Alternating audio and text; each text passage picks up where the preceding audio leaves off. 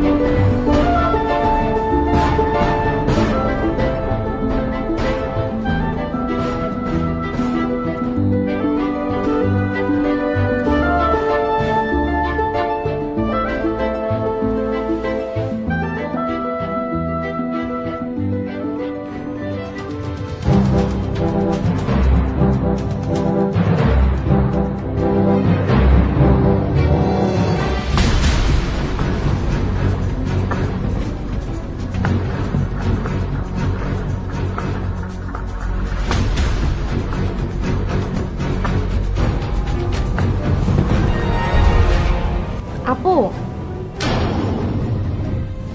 তুমি নাকি সৌম্য বিয়ে করতে রাজি হয়েছো?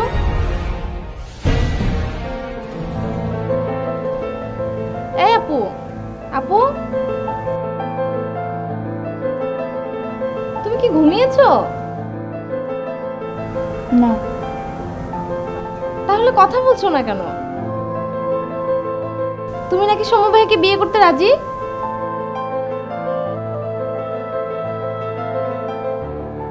তোকে এসব কথা কি বলেছে? আরে, এতক্ষণ দুষ্টুমি করে করে মারফি ভাইয়া এখন বলল যে তুমি নাকি সৌম্য ভাইকে বিয়ে করতে রাজি। আর সৌম্য ভাইয়া নাকি বর্ষে যে এখনই আমাদের বাসায় আসবে। নন্দিতা, এখান থেকে যা তো, আমাকে একটু ঘুমোতে দে। তুমি যতক্ষণই শুয়ে থাকো, ঘুম তোমার আসবে না, আপু। তার চেয়ে তুমি ওঠো, আমি তোমাকে সাজিয়ে দিই।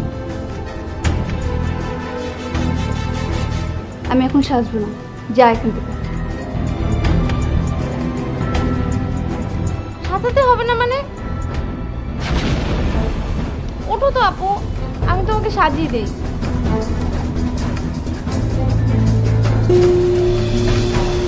তুমি কখন বাড়ি থেকে এসেছ? হাত মুখ ধুয়েছো? না। পরে ধরো না না এখনই ওঠো। হাত মুখ ধুয়ে নাও আমি তোমাকে সাজগুজ করিয়ে দেই। পরে উঠবি কেন? হ্যাঁ? সে বাইরে থেকে এসে কিছু মুখেও দিসনি। এভাবে শুয়ে থাকলে হবে? যা ফ্রেশ হয়ে নে। মা আমার কিছু ভালো লাগছে না। তোমরা এখান থেকে যাও তো। ভালো লাগছে না এ কথা বললে হবে না। যা ফ্রেশ হয়ে নে। সোমরা চলে আসবে। মারফি আর তানিয়া তোকে রেডি হতে বলেছে। যা ওকে নিয়ে যা। শেষ করে রেডি কর। ওঠো ওঠো। এখন কি শুয়ে বসে থাকার সময়? যা তোমার যা।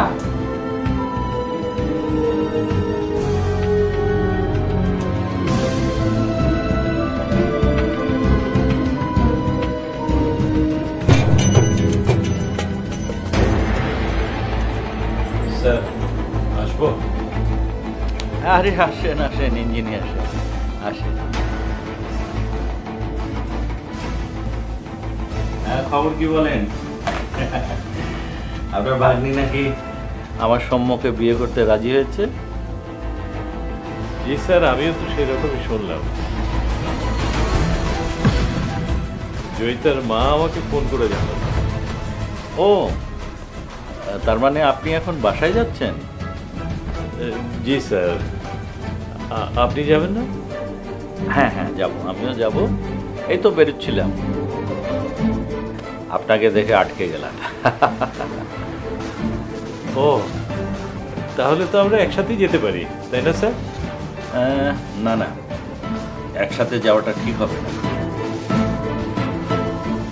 আর ইনফ্যাক্ট আমাদেরও এখানে এত কথা বলা ঠিক হচ্ছে না।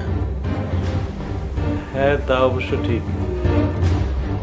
তাহলে স্যার, আমি আমার মতো চলে যাই? আপনি আপনার মতো আসেন। ওকে। স্যার, আরেকটা কথা। হ্যাঁ বলেন। স্যার, আজ আমার ভাগ্নির সাথে সৌম্য স্যারের বিয়ে হয়ে গেলে কালকে অফিসে এসে আমি আবার টার্মিনেশন লেটারটা পাবো। বুঝলাম না তো। না ম্যাডাম কি আমাকে আর এই অফিসে দেখতে চাইবে? তা হয়তো চাইবে না ইঞ্জিনিয়ার সাহেব। কিন্তু আপনাকেও এত সহজে টার্মিনেট করা সম্ভব না। কেন স্যার? ম্যাডাম চাইলে তো যে কোনো সময় যে কোনো লোককে টার্মিনেট করতে পারে।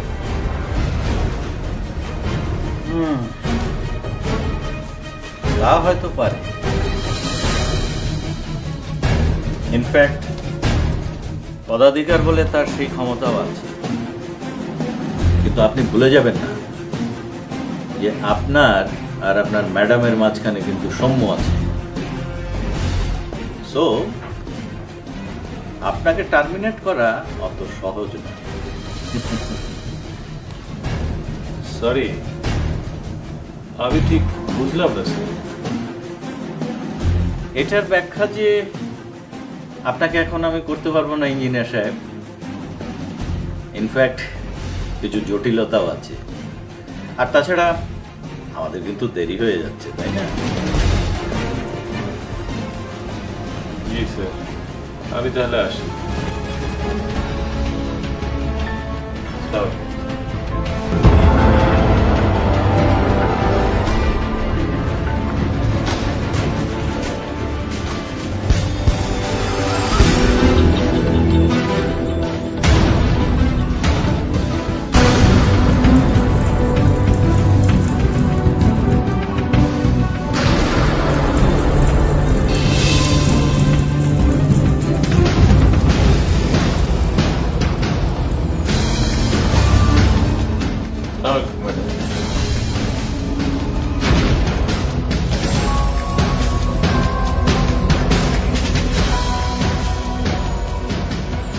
কি ব্যাপার?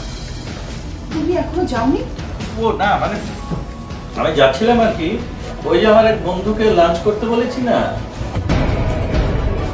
ও আসলেই আমি বেরিয়ে যাব।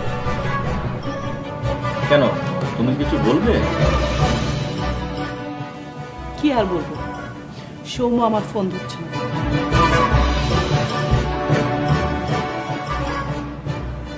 কি আর বলতে পারি আমি বলো?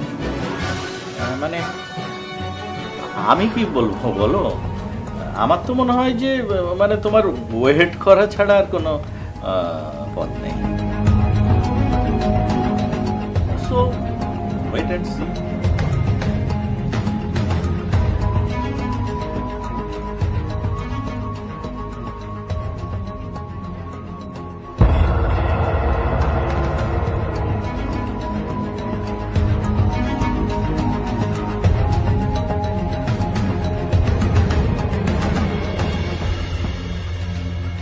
এবার তোমার পরাজয় নিশ্চিত।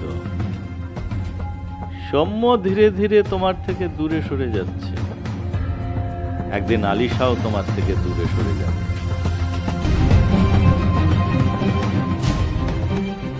আমি ওকেও আমার আদর্শে মানুষ করব। সৌম্যকে যেমন লোভ লালসা টানে না, তেমনি দেখো, আলিশাকেও টানবে না। তোমার মতো ওদের মাথায় আমি শুধু টাকা আর ক্ষমতার চিন্তা ঢুকতে দেব। কিছুতেই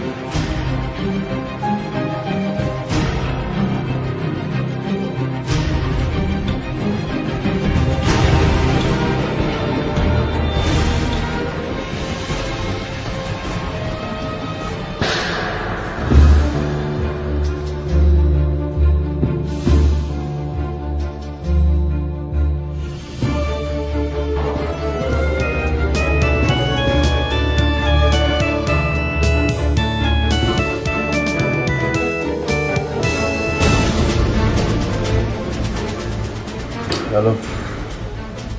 শাকিল তুমি কোথায়? এই তো বাসায়। এখনও বিছানা থেকে উঠিনি ঘুমোচ্ছি। এখনই উঠোনি মানে কি? কটা বাজে তুমি জানো? কটা বাজে তা জেনে কি করব? একেবারে বিকালে ঘুম থেকে উঠে বের হব।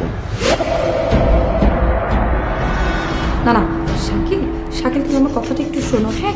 তুমি না একটু তাড়াতাড়ি করে উঠো। উঠে জাস্ট ফ্রেশ হয়ে কোনো মতে তুমি একটু আমির অফিসে চলে এসো প্লিজ কেন? আমাকে এবার তোমার কি দরকার পড়ল দরকার আছে শাকিল। তোমাকে আমার খুব দরকার আছে। খুব দরকার প্লিজ। কেন? সৌম্যর সাথে তোমার বিয়েটা ভেঙে গেল নাকি রশ্মি? জানি না। শাকিল আমার ভীষণ খারাপ লাগছে। আমার আমার যেন অনেক কান্না পাচ্ছে। তুমি একটু তাড়াতাড়ি চলে এসো না প্লিজ। আমি তো সিলভিকে নিয়ে বিকেলে শপিংয়ে বেরোচ্ছি। তোমার বিয়ের জন্য ওকে কিছু শপিং করে দেবো। আরে দূর বিয়ে হয় কি না হয় তারই ঠিক নেই তুমি আছো শপিং নিয়ে তুমি তুমি তুমি প্লিজ তুমি একটু চলে এসো শপিং এ যাওয়ার দরকার নেই একটু আসো প্লিজ কিন্তু ও তো আমার উপর মাইন্ড করে বসবে।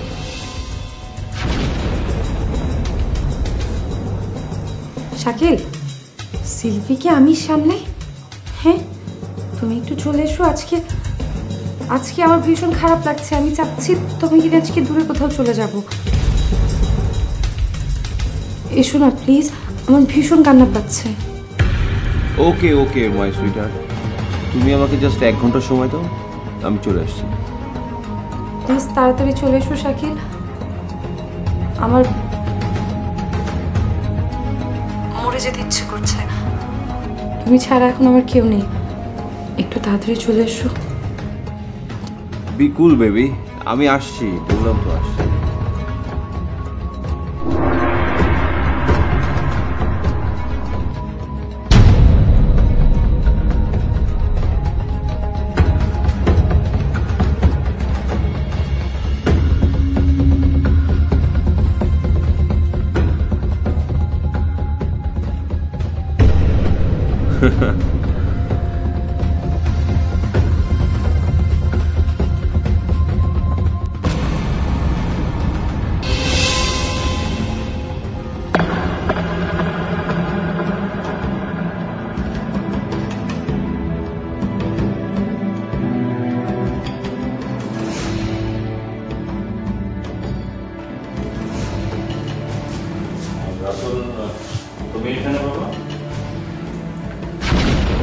হ্যাঁ বাবা। আমিও তোমার সঙ্গে যেতে চাই। না না। তুমি কেন যাবে? তোমাকে না বলেছি যে তোমাকে নেওয়া যাবে না। বাবা বাবা আমি বুঝতে পারছি তুমি আমার কাছে কিছু একটা লুকোচ্ছ। আর তুমি যদি সত্যি কথা না বলো তাহলে আমি কিন্তু তোমাকে ফলো করব। রাতুল প্লিজ বাবা। একটু বোঝার চেষ্টা করো। সৌম্য অফিসে নেই, আমিও বেরিয়ে যাচ্ছি। তোমার মামনি যদি কোনো দরকার হয়, তাহলে তো তোমাকেই খুঁজবে। আর সে যদি তোমাকে না পায়, তাহলে বিষয়টা কেমন দাঁড়াবে তুমি বুঝতে পেরেছ? ওকে। ওকে আমি অফিসে থাকতে পারি। কিন্তু আমাকে সত্যি কথাটা বলে যেতে হবে।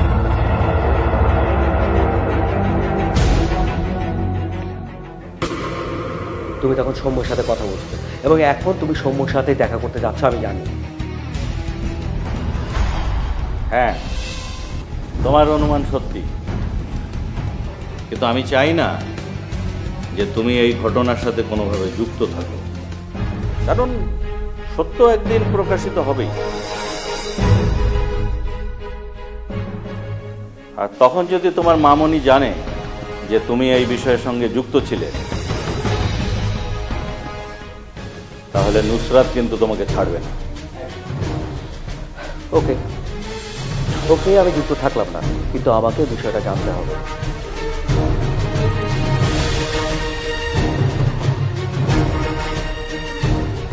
শোনো সৌম্য একটা মেয়েকে পছন্দ করেছে।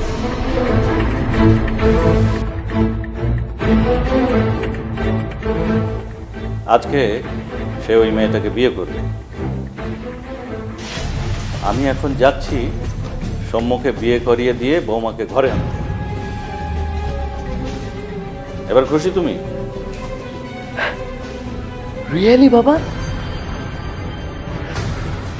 তুমি তুমি সত্যি বলছো? শোনো আমি তখন তোমাকে বলেছি যে আমি আমার এক বন্ধুর সঙ্গে লাঞ্চ করতে যাচ্ছি। আর এখন বললাম যে আমি সম্মর বিয়ে দিয়ে বৌমাকে আনতে যাচ্ছি। এখন তোমার যেটা বিশ্বাস করতে ইচ্ছা হয় তুমি সেটাই বিশ্বাস করো। তবে বাবা অফিসের বাইরে যেও না। তুমি তোমার মামনির পাশে পাশে থেকো। ঠিক আছে? ওকে ওকে ঠিক আছে বাবা ঠিক আছে। ওকে। বাবা। হ্যাঁ বল। আমি তোমার দ্বিতীয় কথাটি বিশ্বাস করছি। আর সৌমকে বলো বলো ওর জন্য আমার শুভকামনা রইল ইয়েস মাই boy.